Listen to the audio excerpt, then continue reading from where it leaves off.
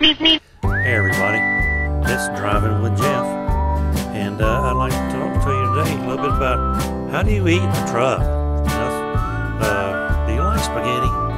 Do you like to eat? Well, I do, uh, and, it, and it sticks out here and shows me all the time. But my wife, my wonderful wife, made spaghetti, I don't know, three weeks ago, I guess, and we ate some at the house, and uh, it was really, really you know what I like better than fresh spaghetti? Leftover spaghetti. Isn't it better? Once it's been in the fridge all night, and uh, or and, and tastes better the next day, and you can put a little cheese on it, or or shake some little parmesan on it. And this is uh, is uh, ground beef and spaghetti and other sauces that she loves to make. Spaghetti sauce, all that stuff. It's really, really but uh, some people might want to know, well, how do I eat in the truck?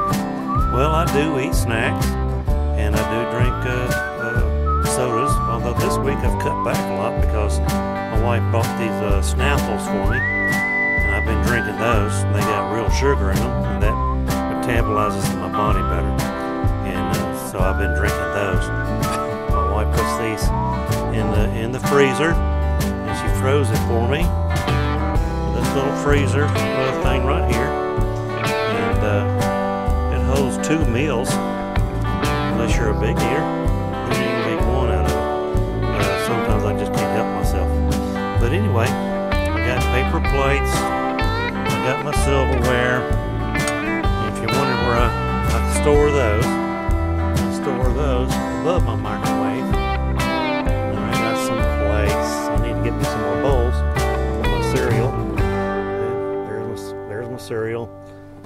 Got some bananas up here. I need to eat those.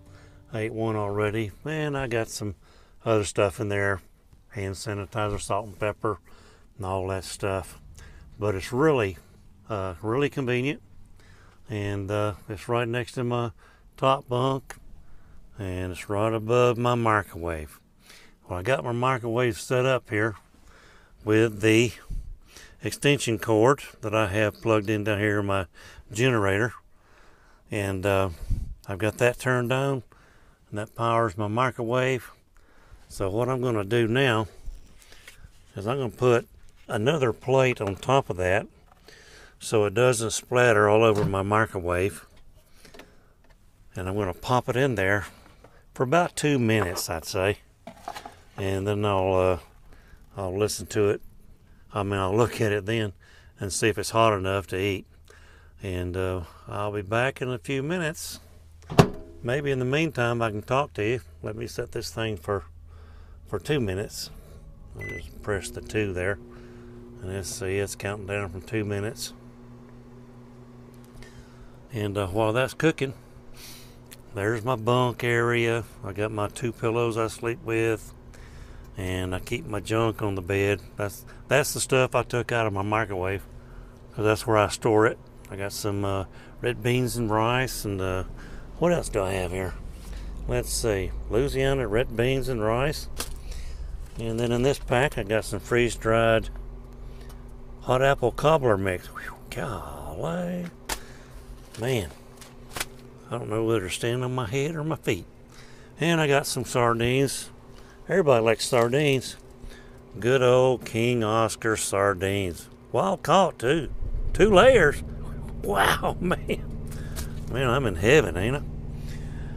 Sardines are good, and I, of course, keep my stuff on my bunk, and I don't put it underneath my bunk. And there's my top bunk right there. I throw stuff up there too.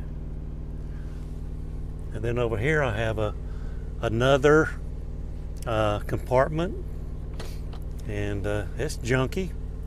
I got my uh, Clorox wipes in there. I got some uh, I got some stuff to make my Ultimate Fresh. I use dryer sheets uh, instead of uh, putting those little Christmas trees up and things like that. So I use dryer sheets and I put about two or three out uh, every now and then and make the truck smell good. Got my baby powder, got my hand lotion, I got all kind of stuff up there. I got some paper towels and uh, stuff like that that I use. Uh, let's see. Oh, let's see. There's my paper towels. There's my spaghetti. It should be, hopefully, hot enough. We'll open her up here and check it out. Hmm. Let's see. The plate feels hot enough. And if I have a little steam coming off of it, something like that, hmm, I don't know. It feels hot enough to me. So, let's see, it didn't hardly splatter, but uh, I don't want it to splatter all over my nice, clean microwave that I keep clean and carry with me everywhere I go. So I'm going to throw that plate off to the side there, and I'm going to take this plate. Mmm, let me smell it here. Oh yeah, that feels hot enough. Got some good steam coming off of it. Now that the spaghetti is hot, I'm going to do one more thing I reach up here in my cabinet and get some good old Texas Pete. Man, you can't beat this stuff. This stuff's made in North Carolina and they call it Texas Pete. And let's see, where's it made? Uh, made in uh, Winston-Salem, North Carolina. How about that? Yeah, see there? Man, I've been eating this stuff for years. I used to uh, eat Louisiana hot sauce too. And uh, that's just as good as Texas Pete to me, although it's a little different. All right, let me open this up. I got one hand holding my camera because I, I don't have my stand with me.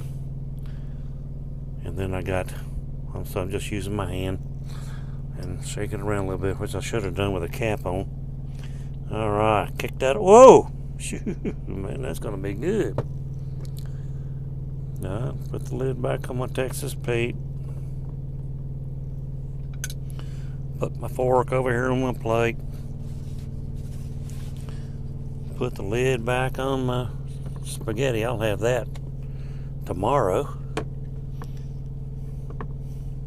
And then down here, I have my refrigerator.